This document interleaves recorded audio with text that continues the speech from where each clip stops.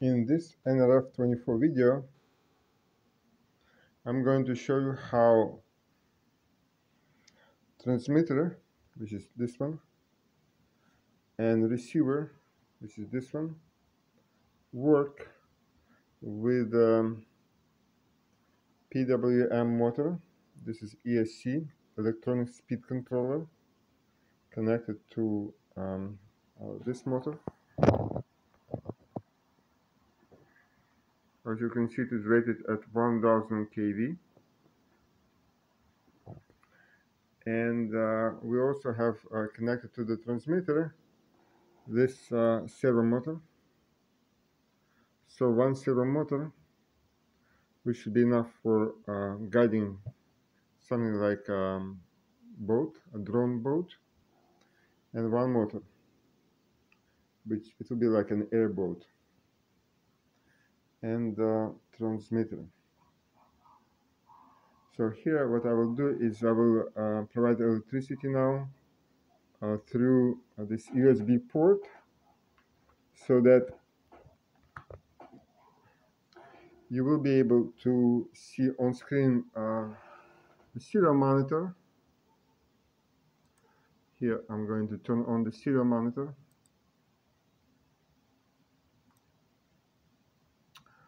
Uh, so uh, first I will show you um, what uh, the serial monitor shows without turning on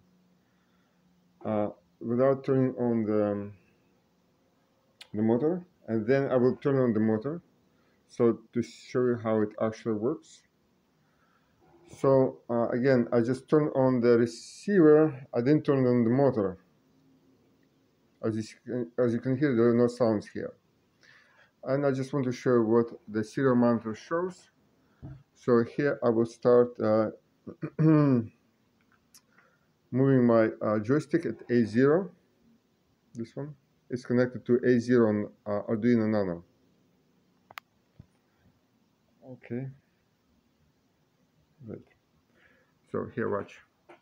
Um, as you can see, uh, once I start moving it, we immediately get some data uh, from 128 to 255 and if I go all the way down it's going to be 0 so usually my joystick is 1 to 128 like the middle position and going up to 255 and going down to 0 so uh, it, the way it is done is there is a mapping function here in the program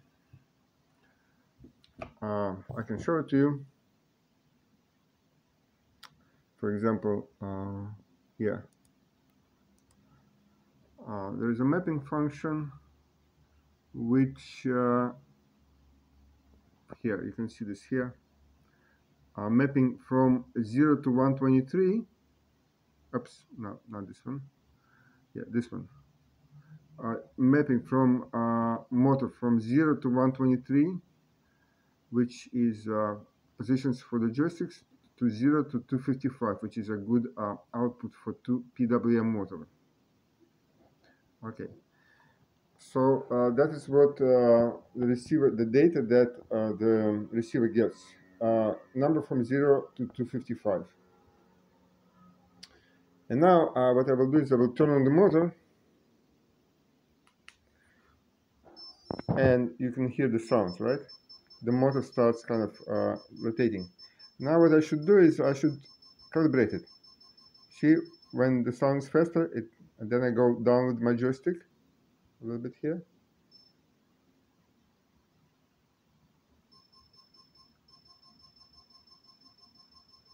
I need to calibrate it first.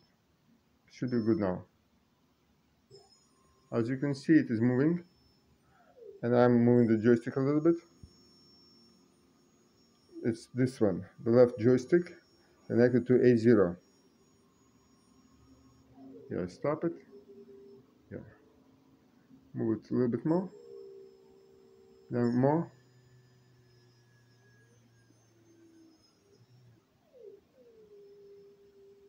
This is like a very low revolutions.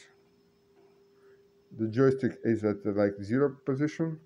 If I bring it down a little bit more, it stops Now, if I move this joystick, this one, the right joystick, uh, you will be able to see that uh, the servo motor is moving 180 degrees. And I can actually have both. Here, I, I bring it uh, this to zero level, like 128, position one of 128. You can see the motor is moving at a slow speed and I will be moving the, the joystick now.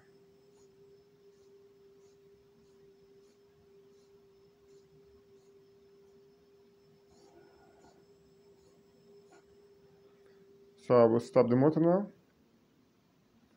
And the joystick is also, uh, I mean the, the servo motor is also like stop. I can move it though.